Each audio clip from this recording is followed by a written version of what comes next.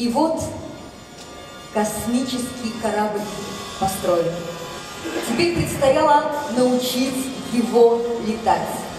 Эту задачу решали специалисты летно-исследовательского института имени Громова и экспериментального машиностроительного завода имени Месищева. Специалисты ЛИИ разработали алгоритм системы управления урана на атмосферном участке полета, а специалисты МСЗ обеспечили проведение летных испытаний атмосферного аналога урана. Слово предоставляется генеральному директору летно-исследовательского института имени Громова, кандидату технических наук Евгению Юрьевичу Пушкарскому.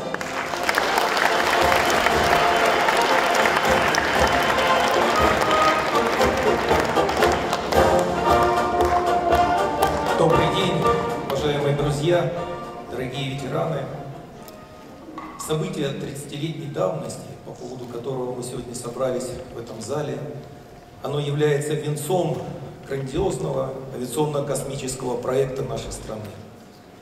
Действительно, над этим проектом фактически работала вся страна.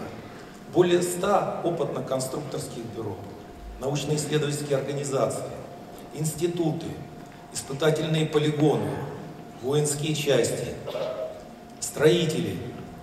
Наши ученые достигли потрясающих результатов в этом проекте.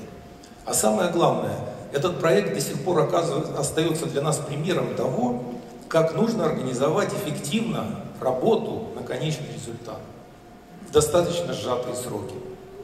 Летно-исследовательский институт действительно очень активно участвовал в этом проекте.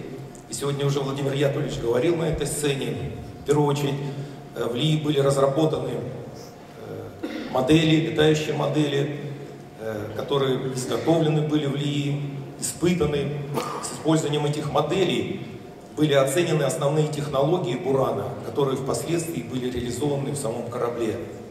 Кроме этого, в летно-исследовательском институте был создан специальный отряд летчиков-испытателей, которым руководил Игорь Петрович Волк.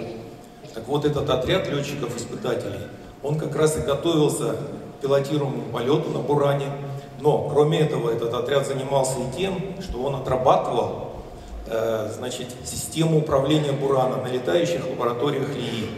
А это был целый ряд летающих лабораторий, которые созданы на базе самолета Ту-154, МиГ-25, Ту-134 и еще многие-многие другие летающие лаборатории. Да, действительно, первый полет Урана оказался единственным. Но как поется в песне, ничто на Земле не проходит бесследно. И действительно, многие идеи Бурана впоследствии были воплощены в других образцах авиационной техники, но кое-что и осталось нереализованным.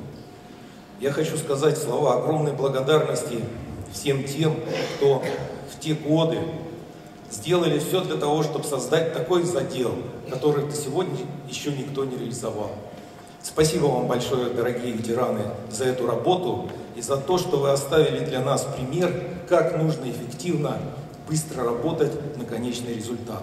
А всем нам я хочу пожелать, единственно тем, кто работает в авиационно-космической отрасли, много-много-много большой, интересной и сложной работы. Здоровья вам, удачи, всего самого доброго. Спасибо.